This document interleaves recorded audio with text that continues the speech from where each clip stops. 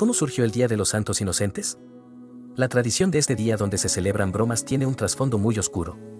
La fiesta de los santos inocentes, también llamada Childermas o Día de los Inocentes, fiesta cristiana en recuerdo de la masacre de niños pequeños en Belén por el rey Herodes el Grande, en su intento de matar al niño Jesús, Mateo 2, 16 a 18. La fiesta es observada por las iglesias occidentales el 28 de diciembre, y en las iglesias orientales el 29 de diciembre en el mundo. La Iglesia Católica primitiva consideraba a los niños asesinados como los primeros mártires, pero no está claro cuándo se celebró por primera vez el día como santo.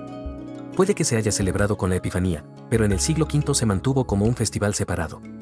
En Roma fue un día de ayuno y duelo. Fue uno de una serie de días conocidos como la fiesta de los necios, y el último día de autoridad para los obispos jóvenes. Los padres abdicaron temporalmente de la autoridad. En los conventos y monasterios, las monjas y los monjes más jóvenes podían actuar como abadesas y abad por el día. Estas costumbres, que se pensaba que se burlaban de la religión, fueron condenadas por el Concilio de Basilea 1431.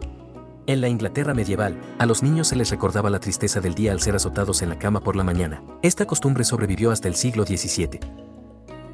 El día todavía se observa como una fiesta religiosa, y en los países católicos romanos, como un día de alegría para los niños.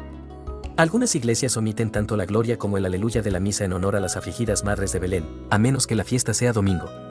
Desde ese entonces, la Iglesia Católica conmemora este día en honor a los cientos de infantes que fueron asesinados este día. En la Edad Media, la celebración se fusionó con un rito pagano conocido como la Fiesta de los Locos, y que era celebrado en los días comprendidos entre Navidad y Año Nuevo. La conmemoración del Día de los Santos Inocentes se extendió en todo el mundo. En varias regiones las personas suelen disfrazarse, hacer danzas tradicionales y también hacer bromas a la gente que están más descuidados.